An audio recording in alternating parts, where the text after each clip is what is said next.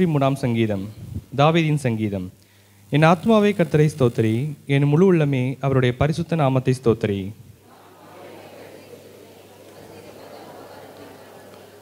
அவர் உன் அக்கிரமங்களை எல்லாம் மன்னித்து உன் நோய்களை எல்லாம் குணமாக்கி.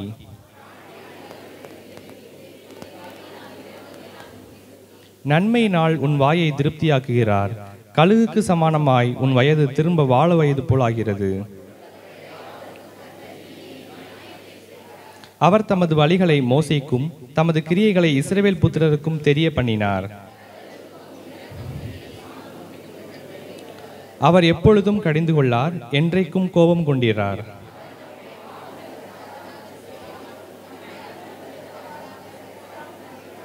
பூமிக்கு வானம் எவ்வளவு தூரமாயிருக்கிறதோ அவருக்கு பயப்படுகிறவர் மேல் அவருடைய கிருபையும் அவ்வளவு பெரிதாயிருக்கிறது.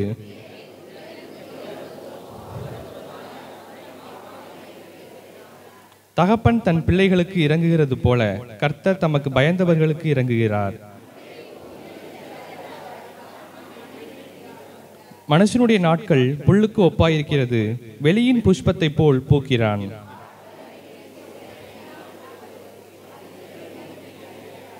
கர்த்தருடைய கிருபையோ அவருக்கு பயந்தவர்கள் மேலும் அவருடைய நீதி அவர்கள் பிள்ளை பிள்ளைகளுடைய பிள்ளைகள் மேலும் அனாதியாய் என்றென்றைக்கும் உள்ளது.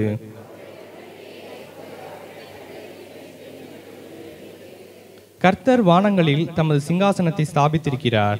அவருடைய ராஜரிகம் சர்வத்தையும் ஆளுகிறது.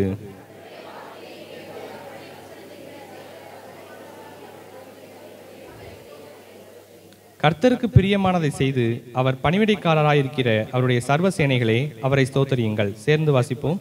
கர்த்தரோட அவருடைய சகல கிரியைகளே அவரை ஸ்தோத்தரியுங்கள். என் ஆத்மாவே கர்த்தரை ஸ்தோத்தரி.